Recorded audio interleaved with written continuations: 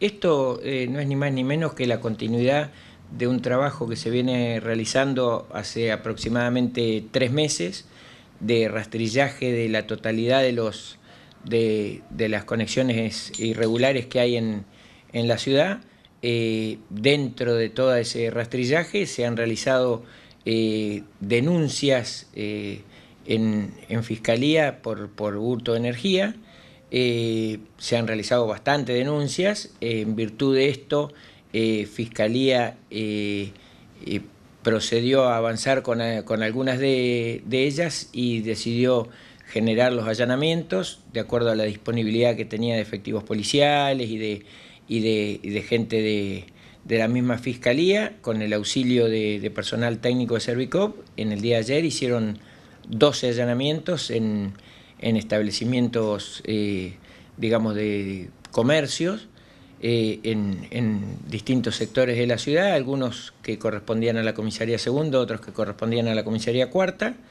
eh, donde se hicieron las contestaciones pertinentes, se, se, desvinculó del servicio eléctrico a estos comercios y bueno, Servicop ni más ni menos que lo que está buscando es que los comercios continúen con el servicio eléctrico, pero en forma regular. De hecho, en el mismo día de ayer se atendieron a varios de los, de los propietarios de estos comercios y para que puedan seguir eh, trabajando, no es el ánimo nuestro eh, quitarle el trabajo a nadie ni, ni, ni generarle un perjuicio económico eh, perdiendo mercadería, pero bueno, que, que tengan una conexión en forma regular como la tiene el resto de los comercios de la ciudad. ¿Se va a hacer una recorrida en los próximos días para que no